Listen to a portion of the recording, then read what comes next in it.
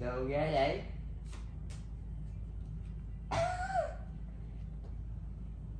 Bao nhiêu tấm ấy nha? Em nghe tắm